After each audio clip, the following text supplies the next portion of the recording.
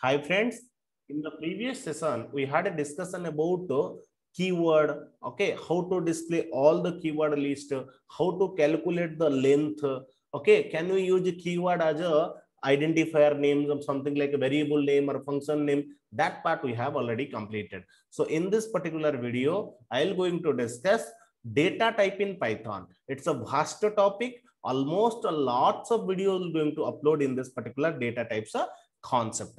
First of all, we'll understand what is a data type. It's simple, simple. Data type means what?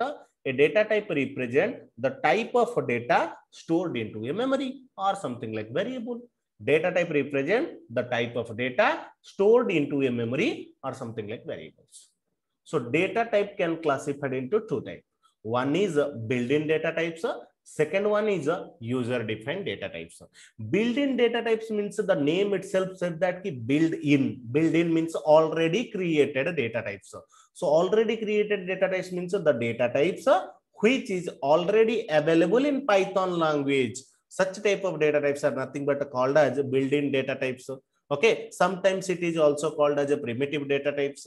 Okay, sometimes sometimes it is also called as primary data types okay? Or something like a predefined data types anything anything. All are same only. Fine. Next one is a user defined data types. The name itself says that key user defined okay? User will define right? Means the data types which is created by user. Such type of data types is nothing but by default called as user defined data types or you can say the data types which is created by programmer okay as per as his or her requirement.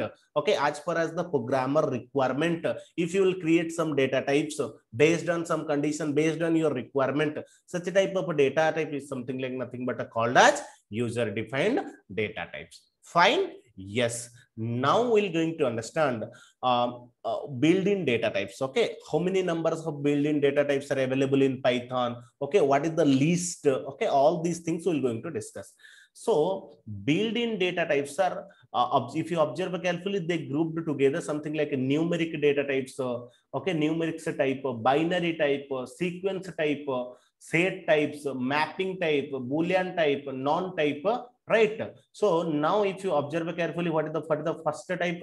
The very first type is a int type, okay, numeric. Numeric means inside a numeric integer type, okay next one float type next next one is a complex a complex type okay complex a complex type then something like a binary type inside a binary type we're going to discuss a bytes then we're going to discuss a byte array right? Like in sequence type we're going to discuss these four. Very very important we're going to discuss a string we're going to discuss a list list list.